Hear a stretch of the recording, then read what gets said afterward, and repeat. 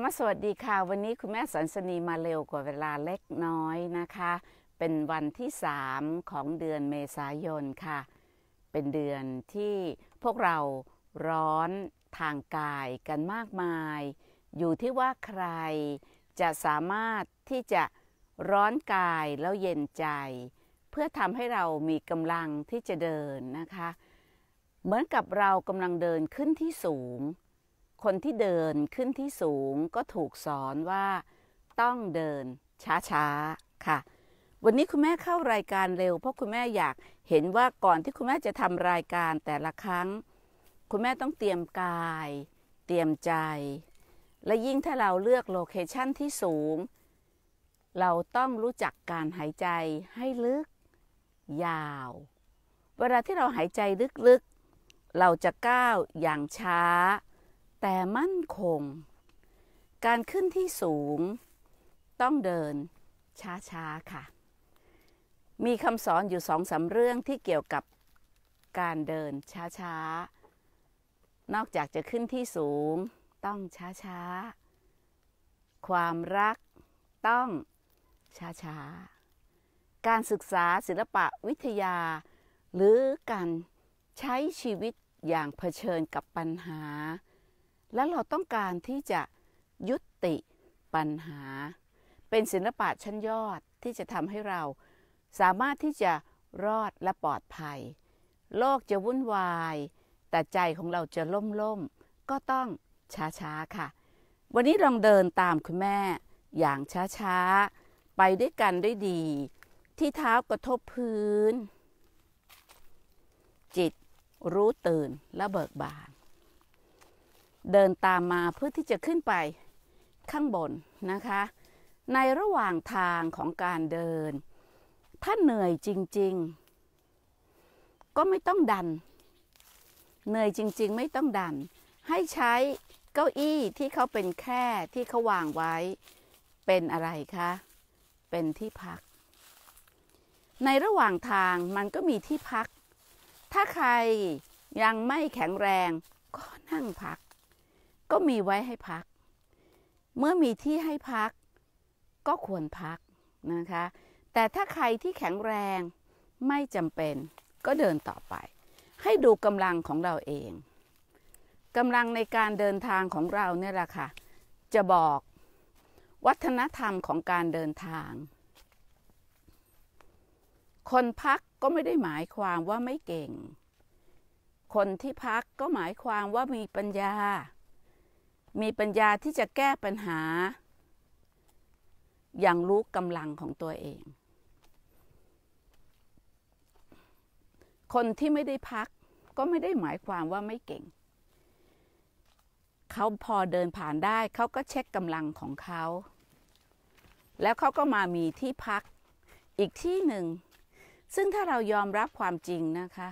ชีวิตมันพักระหว่างทางได้ค่ะ เหมือนโควิด -19 ก็มาเพื่อให้เรารู้จักพักระหว่างทาง step ที่หนึ่งไม่พัก step ที่สองเหนื่อยก็พัก แต่ถ้าอยากลองกำลังนะคะ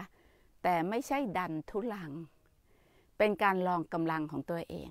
พวกดันทุลังนี่อีกเรื่องหนึ่ง แต่การที่รู้จักการลองกำลังอาจจะก้าวเดินต่อไป แต่ก็ช้าค่ะ คอนเซปต์ก็คือช้า ถ้าเราช้าแล้วเราชัด เราก็จะขึ้นไปได้เรื่อยๆ เราใช้ความมีสติปัญญาของเรา ค่อยๆเดินไป ให้ใจของเรารู้สึกได้ ว่าเรามั่นคง ในระหว่างเดินให้เรารู้สึกมั่นคง คุณแม่เดินขึ้นมาสูงอีกหน่อย คุณแม่เริ่มเห็นนกบินแล้วนะคะ เรามีเพื่อนที่ร่วมเดินทางอยู่ จะลองให้กล้องเขาเดินขึ้นไปก่อน ช้าๆ ลองมองหมุนไปเห็นอะไรบ้าง เราก็จะเห็น ทางเดินอีกยาวไกล ในขณะที่เราก็เริ่มเห็นความสวยงามใน ระหว่างทางที่ถือว่าเป็นรางวัล พระอาทิตย์ดวงโตรอเราอยู่ ถ้าเรามองเป้าหมาย อย่างคนที่มองว่า มีรางวัลระหว่างทาง แล้วเราก็ยังเห็นเป้าหมาย ที่มีความงดงาม ในระหว่างทางมีรางวัล เป้าหมายเป็นสิ่งที่พวกเรา มุ่งที่จะไปให้ถึง วันนี้เป็นการทำรายการที่เห็นเลยค่ะ เราสามารถที่จะพบกับรางวัลที่ยืนอยู่ข้างหน้าเรา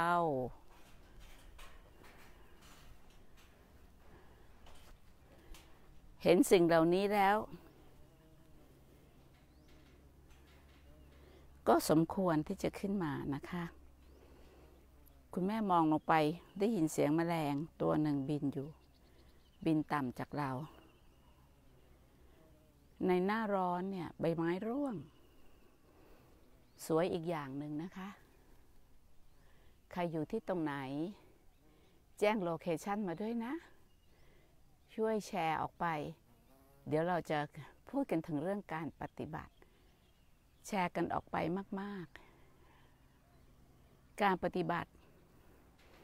ทำให้มากเจริญให้มาก ดีท่าเดียว ไม่มีเลวเลย เราเห็นความชัดเจน เมื่อมองจากที่สูง และอย่าไปเสียใจกับหมอกบ้างๆ หมอกบางๆทำให้เลยตัวเองนะ เตือนตัวเองได้ ว่าเรา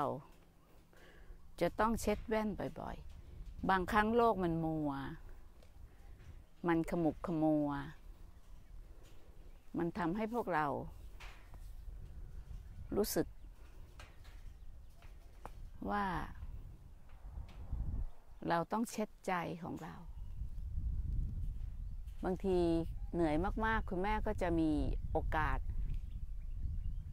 หันไปที่พระพักของพระอริยตารามหาโพธิสัตว์ และบอกกับตัวเองว่าเราอยู่ในสายพระเนตรของพระองค์ ยากอย่างไร เราก็จะผ่านไปให้ได้ เมื่อสองสามวันที่แล้วเราเห็นไฟไหม้อยู่ที่เทือกเขาข้างหน้า เห็นเลยว่าหมอกควันก็ยังมีอยู่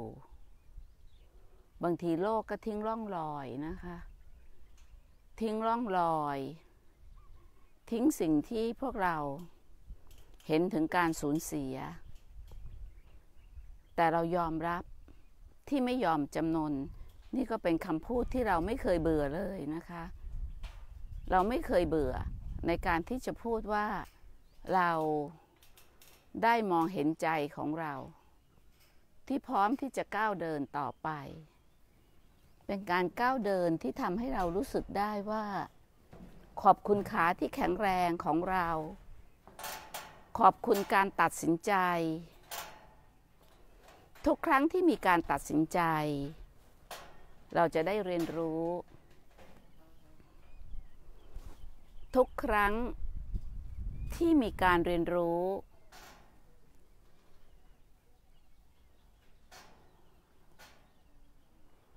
เราจะเห็นศิลปะแห่งการต่อสู้ค่ะ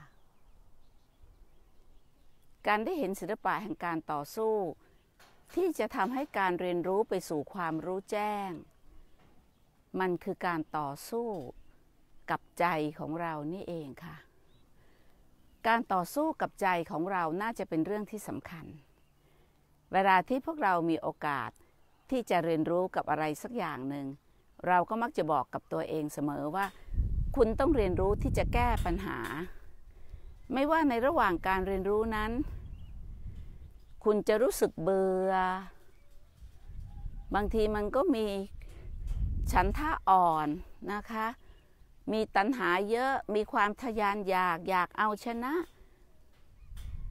ไม่อยากแพ้ อยากไปจัดการคนอื่น เราก็จะเห็นเลย ว่าการเรียนรู้ในระหว่างที่เราไม่อยากนั่นไม่อยากนี่ มันจะนำมาซึ่งความเบื่อ เมื่อใดที่เรามีความเบื่อ มีความไม่เป็นดั่งใจ มีความไม่แน่ใจ มีความลังเลใจ เราอาจจะหดตัว แล้วถอยออกมา กลับไปดูเจ้าตัวเบื่อก่อน มันมาจากอะไร เมื่อเกิดความเบื่อ เกิดความเหงา เกิดความเศร้า อันนี้ต้องหยุดเลยค่ะ หยุดแล้วดู ทบทวนค่ะ ทบทวนสิ่งที่เรากำลังกำลังรู้สึก ให้คุณรู้สึกได้ว่าความรู้สึกมันมีได้ บอกตัวเองก่อน ถ้าเราต้องการความรู้แจ้ง เราต้องเห็นไอ้เจ้าตัวเบื่อ ตัวเหงา ตัวเศร้า แล้วก็เห็นมันตามที่มันเป็น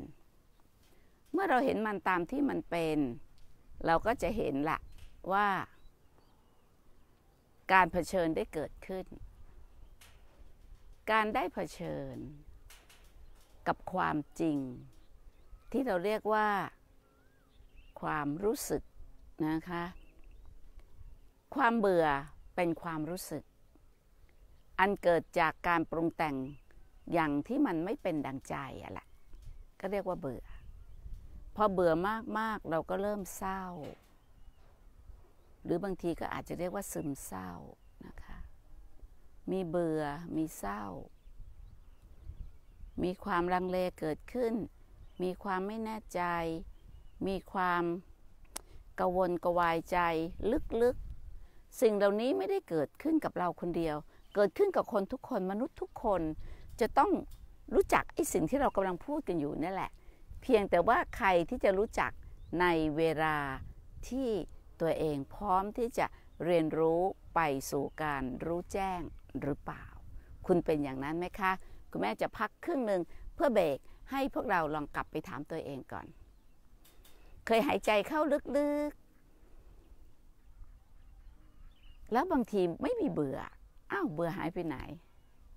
หายใจออกยาวๆ พ่นออกทางปากยาวๆ พอจิตมันมาจดจ่ออยู่กับการตามดูลมหายใจ อ้าว เบื่อหายไปไหน เมื่อกี้ยังเบื่ออยู่เลย จิตรู้ทีละเรื่อง พอจิตมันไปอยู่กับตัวเบื่อ มันก็ดิ้นรนดิ้นรนนะคะ แต่พอ เอาจิตไปจดจ่ออยู่กับลมหายใจ ซึ่งเราเรียกว่าวิหารธรรม มันเป็นเครื่องอยู่ของจิตที่มันแข็งแรง สิ่งที่ตามมาคือ เราเห็นความเบื่อมันหายไป นี่เราไม่ต้องไปไม่อยากเบื่อใช่ไหมคำว่าไม่อยากเบื่อมันอาจจะเป็นตัณหาที่ซ้อนเข้าไปอีกแง่หนึ่งก็ได้ ตัณหามันก็มีอยากมีอยากเป็นไม่อยากเป็น พอเห็นความเบื่อ เบื่อมันก็ไม่อยากให้เป็นพอมันไม่อยากเป็นเนี่ยมันก็เป็นตัณหาซ้อนใช่ไหมลองดูก่อนลองแยกไปทีละเรื่อง เราไม่ต้องใช้หลักการอะไรที่มันจะต้องเป็นเรื่องจิตวิทยาภายนอกหรอกเอาตามดูตามรู้ตามเห็น ซึ่งเป็นวิธีการในอานาปานสติภาวนา ในฝ่ายที่เราจะเห็นเวทนาไม่เที่ยง เมื่อใดที่เราเริ่มเห็นว่า เฮ้ย กายอยู่กับกิจจิตมันแข็งแรงขึ้น จิตมันอยู่กับงานและมันจดจ่อจิต เราจะเห็นเลยว่า ขณะหนึ่งที่มันมีความรู้จริง ๆ ไม่ใช่ความคิดว่าเบื่อหายไปนะมันจะเหลือความบริสุทธิ์ตั้งมั่น จิตที่มีความบริสุทธิ์ตั้งมั่นทั้งๆทที่เมื่อก่อนนั้นเนี่ยมันเบื่อ ถามว่าความเบื่อ เป็นอะไร เป็นโจทย์ ที่จะทำให้เราทำงานด้านใน งานด้านในก็คือการตามดู ลมหายใจตามดู รู้ลมหายใจเข้าลมหายใจออก ตามรู้สภาวะจิตนะคะเห็นความไม่เที่ยงของความเบื่อ เมื่อเราตามดูตามรู้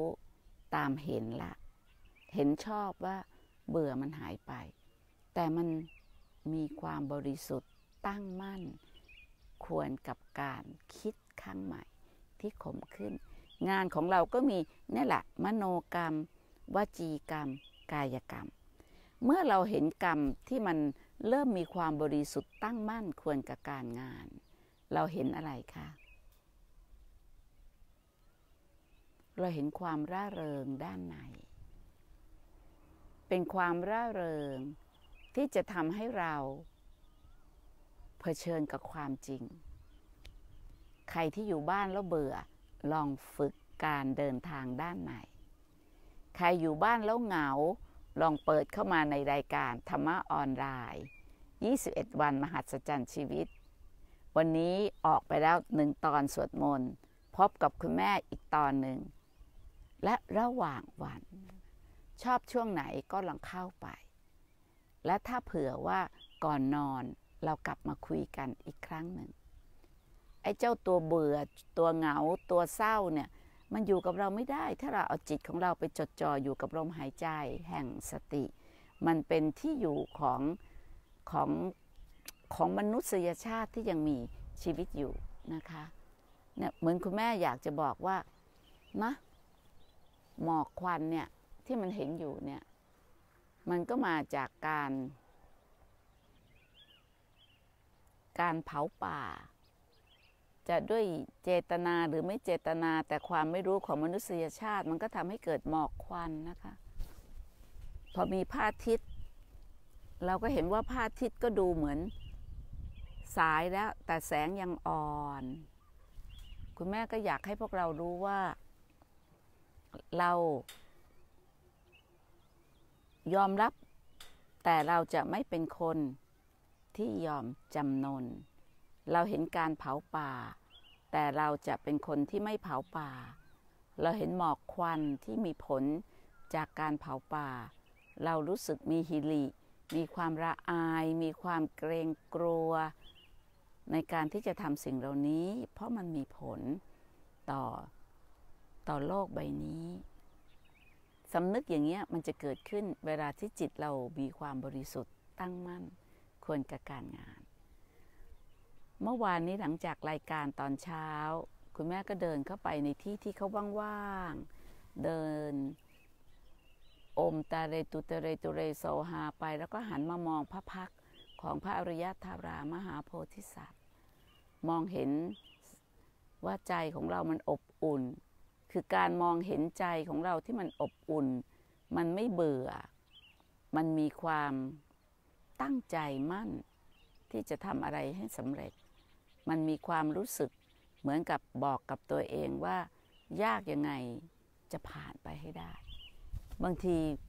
ความเบื่อเกิดไม่ได้เลยสำหรับคนที่กำลังผ่านความยากลำบาก อย่าหมดหวัง อย่าสิ้นหวัง อย่าทำให้ตัวเองต้องรู้สึกว่าเราหมดแรง เพราะเราจมอยู่กับความคิดค่ะ ให้รู้คิด รู้คิด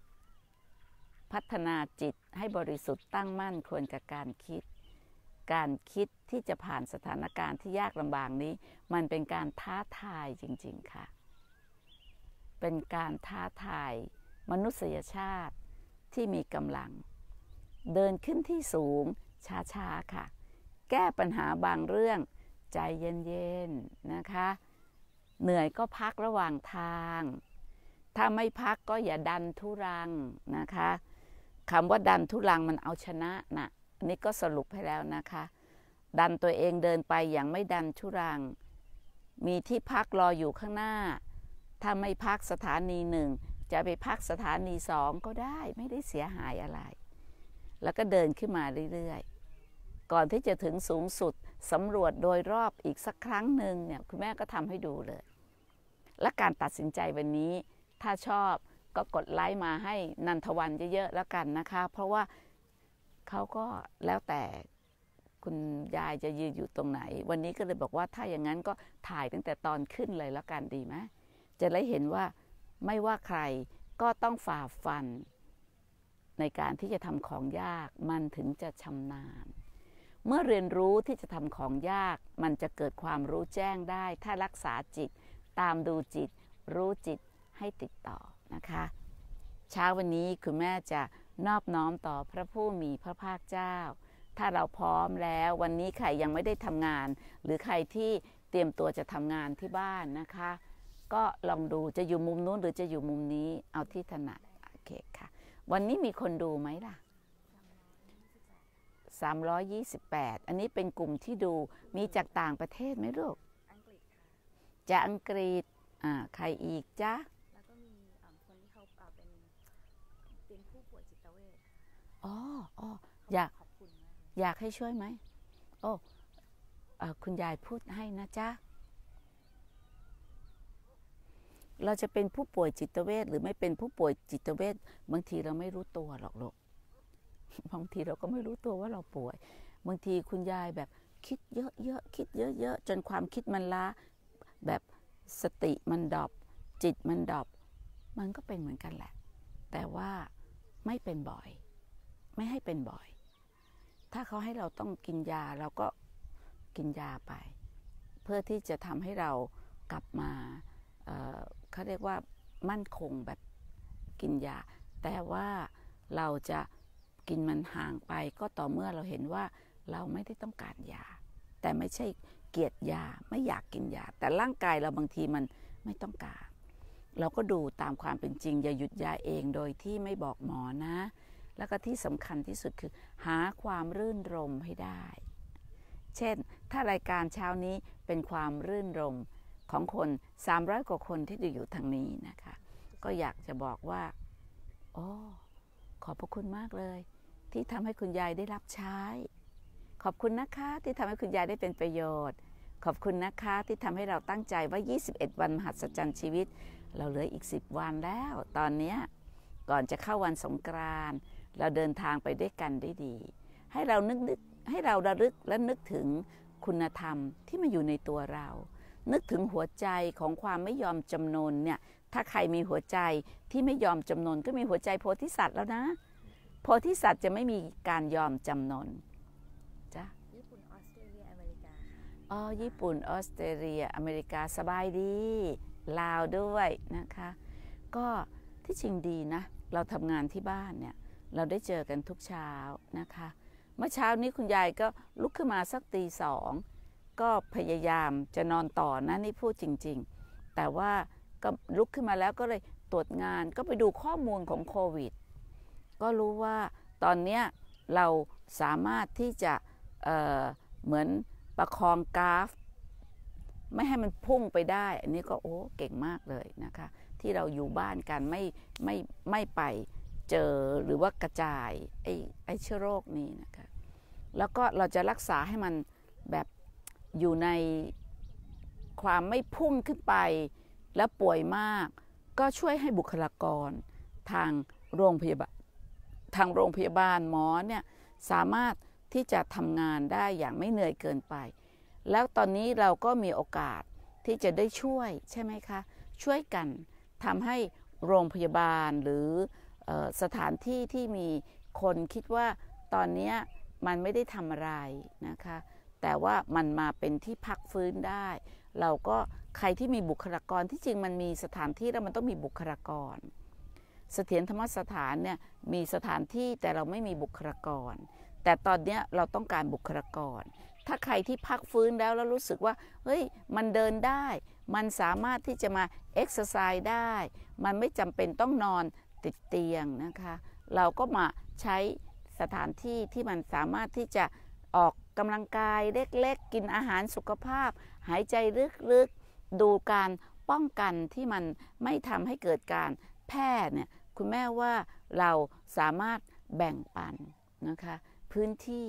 ที่จะทำให้ทุกคนเนี่ยสามารถที่จะเคลื่อนตัวเองในวันสงกรานต์เนี่ยไปด้วยกันด้วยดี ระหว่างมนุษย์กับมนุษย์ที่การช่วยเหลือนะคะ ตอนนี้ต้องให้กำลังใจ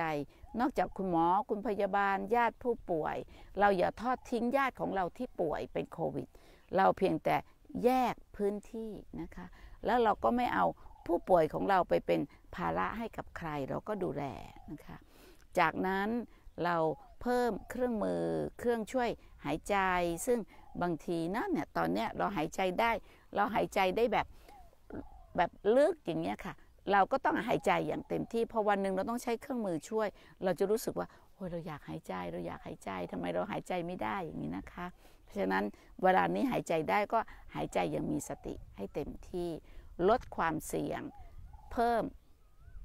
การทำงานที่มีคุณภาพ นี่ก็เป็นสิ่งที่โควิดก็จะแบบลดลง แล้วเราก็จะผ่านสถานการณ์นี้อย่างมีประสบการณ์ร่วมกัน งั้นวันนี้คุณแม่ให้กำลังใจ ท่านที่กำลังดูอยู่ทางบ้านไม่ว่าจะอยู่ที่ไหน ยืนอยู่ที่หุบเขาโพธิสัตว์เสถียรธรรมสถานสองแก่นกระจานนะคะ ก็งดงามตามท้องเรื่อง เราจะจบลงด้วยการนอบน้อมต่อพระผู้มีพระภาคเจ้าด้วยกันนะคะ ยืนตรงนี้นะจ๊ะ ขอเชิญเถิดพวกเราทั้งหลาย จงทำความนอบน้อม ต่อพระผู้มีพระภาคเจ้า เป็นการเบื้องต้นเถิดหันธรรมยังพุทธสะภะคะวะโตผู้พาภาคณมการังกาโรมาเซ นะโมตัสสะภะคะวะโตอะระหะโตสัมมาสัมพุทธัสสะนะโมตัสสะภะคะวะโตอะระหะโตสัมมา สัมพุทธัสสะนะโมตัสสะภะคะวะโต อะระหะโต สัมมาสัมพุทธัสสะ พุทธัง ธรรมัง สังฆัง สรนังคัจฉามิ รัตนตเย ปะมาเทนะทวารัตเยนกตัง สัพพังอปราทังขมะทะเมพันเต ขอนอบน้อมต่อพระอริยตารามหาโพธิสัตว์ ด้วยกายวาจาใจ ขอแสงสว่างแห่งปัญญาจงปรากฏขึ้น ในจิตใจของเรา ขจัดความกลัว และก้าวเดินต่อไปด้วยใจที่อาจหารอยู่ด้วยธรรม สิ่งใดควรทำเราจะเร่งทำด้วยความสำนึกและรับผิดชอบ ไม่ผัดวันประกันพรุ่ง ไม่ต่อรองกับเวลา ใช้ชีวิตในปัจจุบันขณะด้วยความไม่ประมาทด้วยสติปัญญาของเรา และจะให้อภัยอย่างลึกซึ้ง ไม่ว่าสิ่งนั้นจะชั่วร้ายขนาดไหน การให้อภัยอย่างลึกซึ้งของเราจะถอดถอนความเจ็บปวด ความเหงา ความเศร้า ความไร้สาระของเรา จะมีปัญญาทำของยากให้ง่ายได้ เป็นเหมือนดังแสงแห่งธรรม เป็นปาฏิหาริย์ของธรรม ที่เราประพฤติธรรม ธรรมคุ้มครองเรา เมื่อเราได้ขจัดความกลัว ให้อภัยอย่างลึกซึ้ง ไม่ปฏิเสธทำของยาก สิ่งที่จะเกิดขึ้นกับเรา มันจึงเป็นสำนึกแห่งสติปัญญาอย่างแท้จริง เปลี่ยนการเรียนรู้ไปสู่การรู้แจ้ง ปล่อยวางความยึดมั่นถือมั่นอันเป็นเหตุแห่งทุกข์ ไม่เพลินในเวทนาระตัณหาได้ ชาติแห่งทุกข์ถูกตัดขาดสะบั้น ขอเชิญทุกท่านได้ตั้งสัจจะอธิษฐาน ที่จะมีชีวิตที่แข็งแรงทั้งร่างกายและจิตใจ ผ่านสถานการณ์ที่ยากลำบากนี้ไปด้วยกัน มีลมหายใจแห่งสติ ประคับประคองการทำหน้าที่ เป็นนักลงทุนในกฎแห่งการกระทำ ทั้งกายกรรม วจีกรรม มโนกรรมสุจริต ผลแห่งกรรมก็สุจริต ด้วยกันทุกท่านทุกคนเธอโอมตะเรตูตะเรตูเรโซ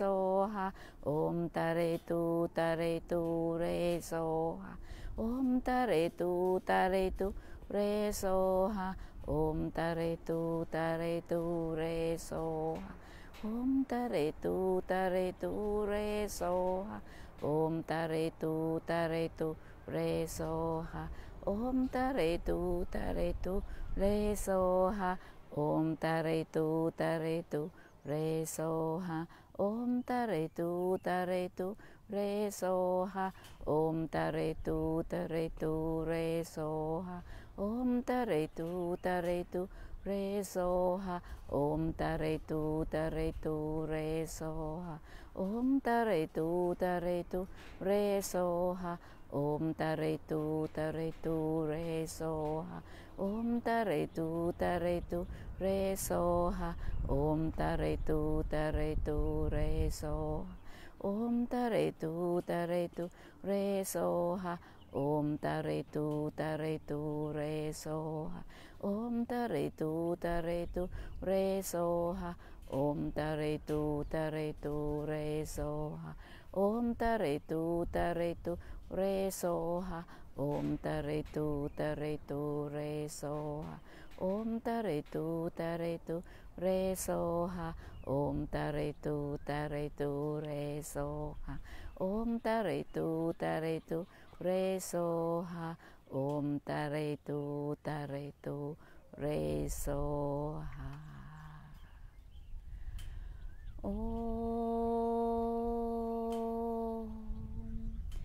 ta re tu ta re tu re so